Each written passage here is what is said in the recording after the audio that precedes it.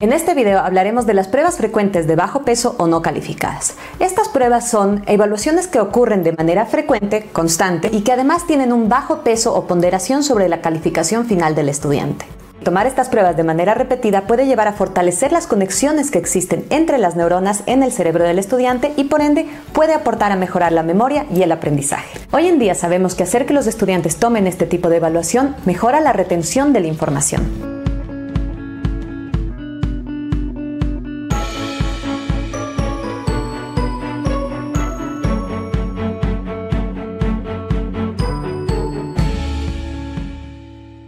Tradicionalmente, las pruebas y los exámenes de opción múltiple han sido utilizados como buenos mecanismos para evaluar el aprendizaje de los estudiantes. Sin embargo, hoy en día conocemos que existen métodos más eficientes de medir el aprendizaje y además existen maneras novedosas de usar las pruebas para poder mejorar el aprendizaje de los estudiantes.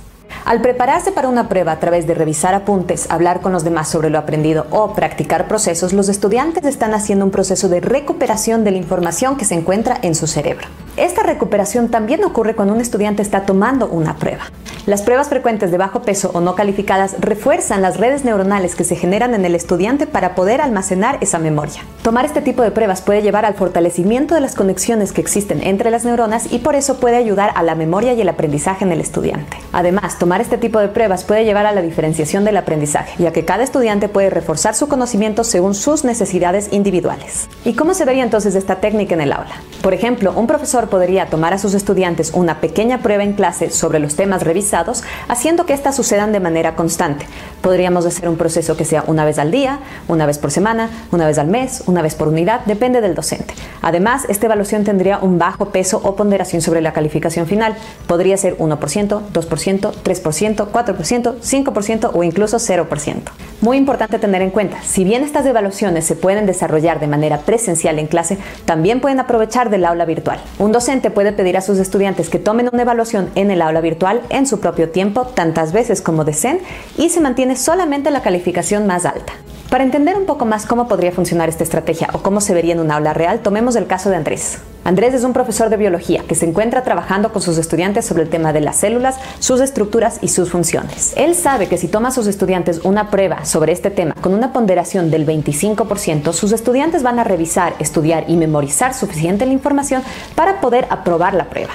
Pero él sabe que la recuperación constante de la información puede llevar a reforzar las redes neuronales y posiblemente un mejor aprendizaje en sus estudiantes. Entonces, Andrés decide aprovechar esta oportunidad para utilizar su aula virtual y dar a sus estudiantes una pequeña prueba con una ponderación del 5%. Los estudiantes pueden completar esta prueba tantas veces como deseen durante las tres semanas que se revisarán las células en clase y se mantiene solamente la calificación más alta. Ana, una de las estudiantes de Andrés, conoce muchísimo sobre las células. Toma el examen una sola vez y obtiene una calificación del 90%. En cambio, Enrique, a quien le cuesta un poco más la biología, toma el examen la primera vez y obtiene una calificación del 40%. Enrique decide que debe reforzar más su aprendizaje y vuelve a tomar la prueba una vez más. Esta vez obtiene una calificación del 60%.